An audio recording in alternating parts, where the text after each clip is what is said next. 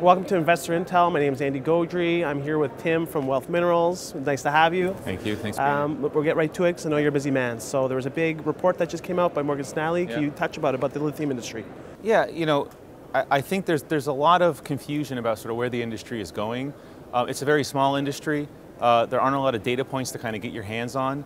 What we do know is that the paradigm shift in lithium consumption globally is happening before our eyes.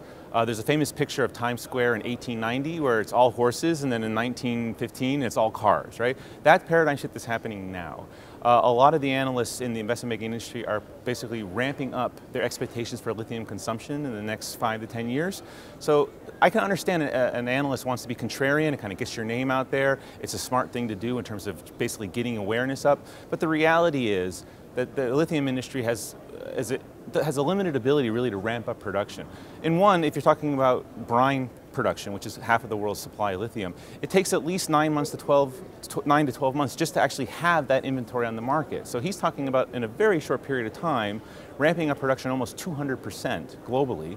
Well, in that short period of time, you're going to be waiting for all of the stuff to just dry under the sun, which is what solar evaporation is. I think there's just there's there's some details here that he's not really fully processed in his report. Whatever, it, it gets the, it gets the word out there. It's great. The fundamental reality is the world's shifting to lithium-ion battery technology. That's just a fact. We see that everywhere. And the reality is is that there hasn't been a lot of thought on, from the consumers of lithium about where this actually is going to come from they're putting billions of dollars into building factories, and frankly, for them, I think a couple hundred million dollars for lithium supply is almost an afterthought.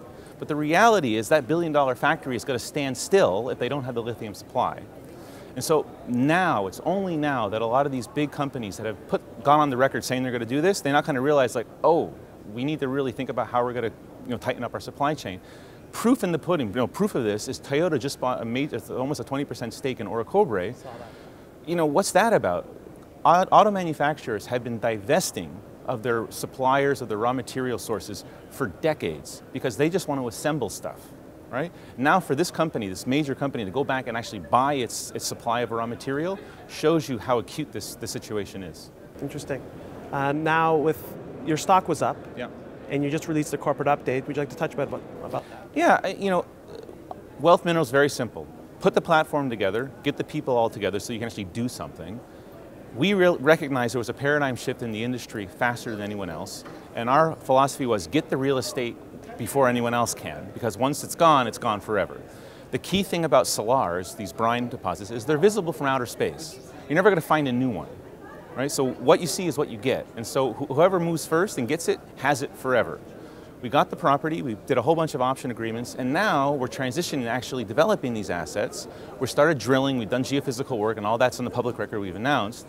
Um, but at the end of the day, you want to be efficient about it. So basically, we've taken the best parts of our portfolio. We want to have basically the first course. Other people can have the leftovers, right? So we get everything first, and then we rank what we have, deploy capital and management attention to the best projects, and the projects that maybe have some issues or maybe just aren't as you know perspective as the others, we're going to move those further down the, the chain of, of, of what we do with them. What do you expect wealth to happen in the next quarter or two? Look, we're, we're drilling right now, Okay. right? Uh, that's been, you know, the key thing about wealth is everyone understands the perspectivity of the properties, but they, they need a number. People want to see a physical number. So we're drilling, those assay results are going to be coming out in the end of this quarter, in the beginning of next quarter, and that's going to be a major catalyst event because then you actually have a number to put to essentially an idea, a concept. So that's number one. Number two, we're doing a lot of work on the corporate front. The corporate update we just spoke about, that's basically the first step of really putting this together. So it's an exciting time for wealth because all of these things are coming together right now in the next two quarters. So keep an eye out for the stock.